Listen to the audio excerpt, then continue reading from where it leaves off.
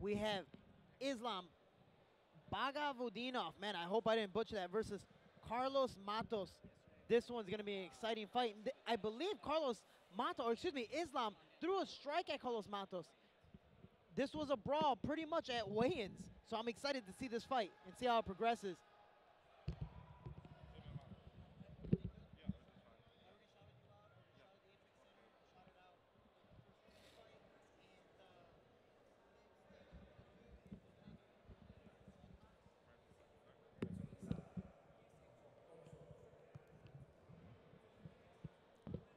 And his next fight sponsored by Transacciones Damos. These guys are going to get at it again. Had a fight at the weigh-in with Islam throwing a strike, but Carlos Matos just seems pretty calm, pretty content, and relaxed and ready to put on a show. Let's get it. I like when there's a little beef. It makes it exciting. It's always a good time when there's beef. I'm thinking of a buffet now.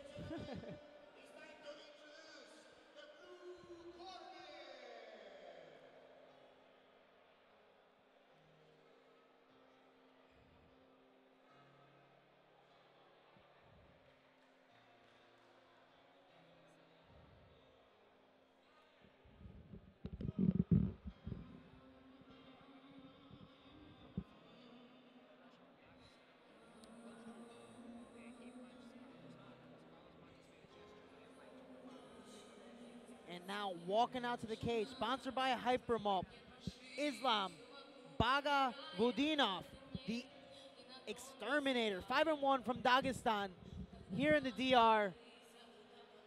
I asked him what was his amateur record. He goes, I have no clue. I'm a sambo fighter. I've had tons of sambo fights. I've lost count. In my experience fighting over the seas, these guys are built different.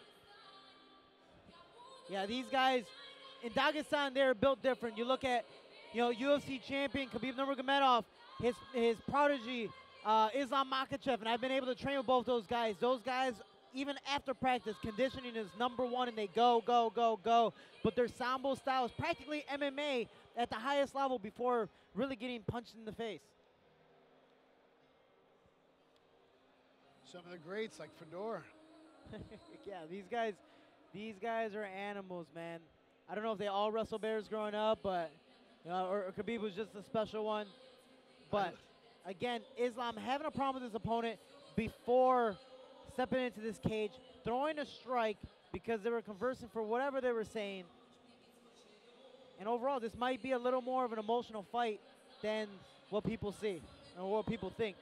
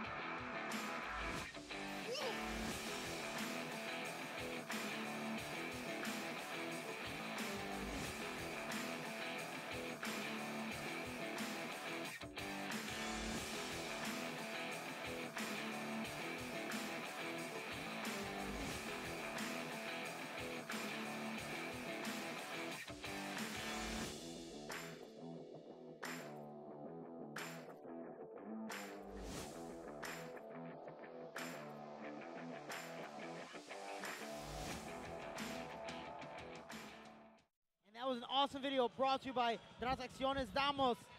We have Carlos Matos, El Matador, 7 and 1 from the Dominican Republic. We see them showcasing his skill. This man, again, with only one loss under his belt, is ready to, in a sense, prove himself. Now be on being on UFC Fight Pass, proving himself to the world and trying to put on a performance. Tail of the tape looks very similar, 20 to 23 years as far as the age. The height, six foot versus six foot two. Weight is a 165 to 169, very similar. Reach, 70 to a 77.5. That's going to be. That is a tremendous reach advantage. And if he's able to use it properly, especially against Islam, more of a sambo based wrestler, it's going to be able to work properly against him. I can tell you right now, the locals are excited about this fight. Everyone is really anticipating what's going to happen here. En pleno.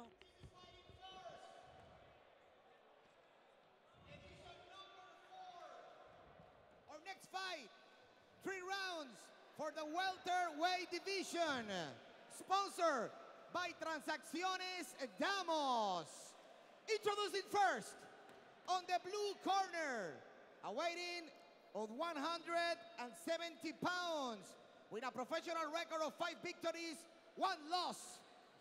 From Dagestan, Islam, the Bagavutdinov. In the red corner, weighing 170 pounds, with a professional record of seven victories and one loss. From the Dominican Republic, Carlos El Matador Matos. Our referee in charge, Tommy El Internacional Santana. El tercer hombre.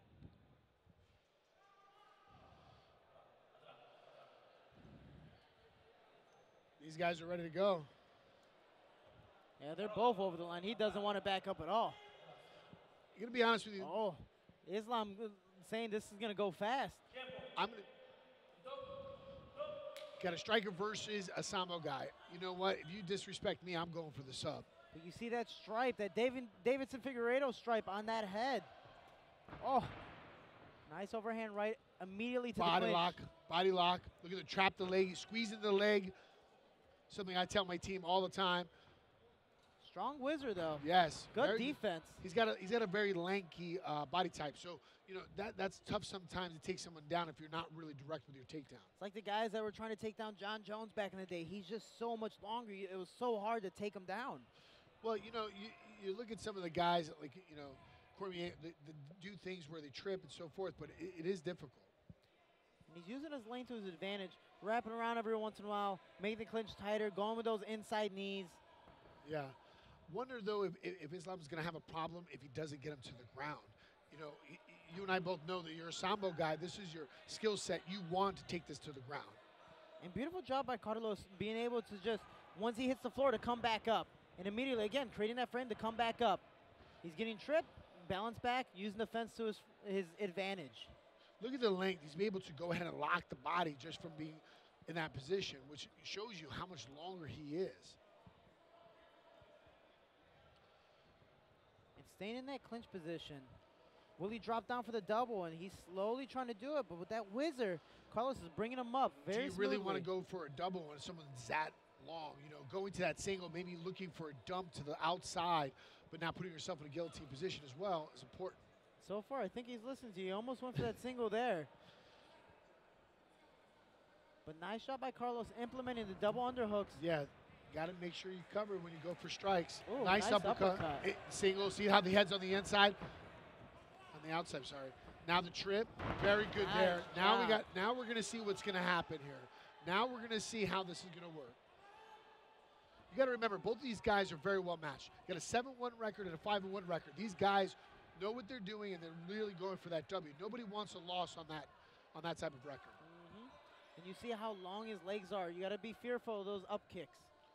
Caught a couple in uh, my lifetime. Yeah. Actually, I caught one in my last fight. Very composed on both the athletes. Oh, nice kick to the solar plex. I think that was the best thing for him to do is just go inside there and work from there. and trying to trying to implement a different position, maybe throw some strikes and try to pass guard from there. But when you have somebody with his legs so long holding guard, Yeah, you, let's see if his grappling is, is is decent. You know, those are triangle legs, those are armbar legs. You know, me personally, I would have stayed in the bottom. I would have went for the ground and pound. You got two minutes into the clock. I would try to win this round. And I tell you what, the referees are doing a great job. They're, they're looking for action. They're not going to let you lay and pray there. They're doing a good job. And- Oh, oh, look at pass. Omoplata. Going for the Oma, Plata attempt. He's But- got it. The elbow's a little already bit- escaped out. It's it's Uh, it, it, it looks, you know,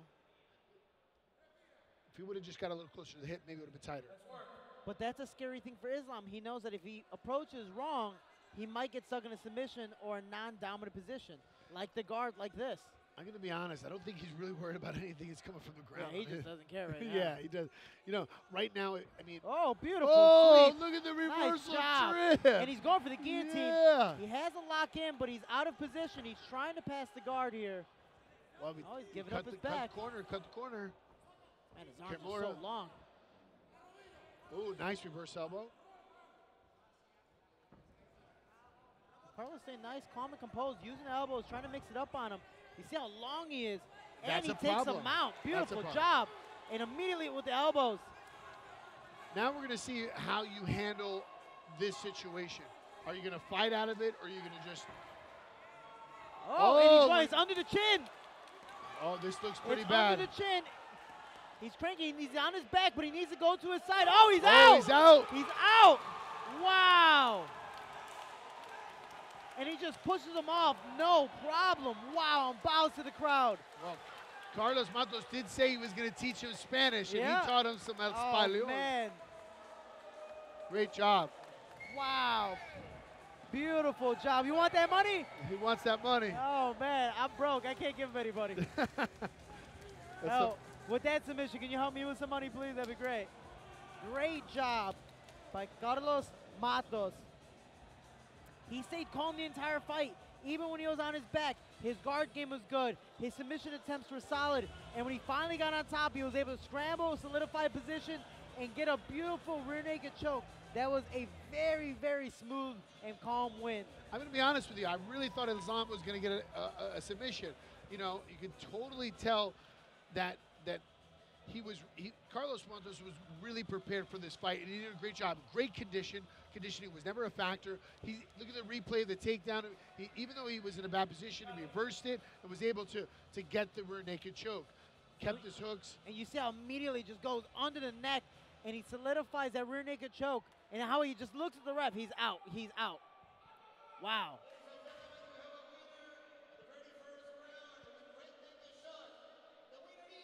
Carlos Matos, el matador.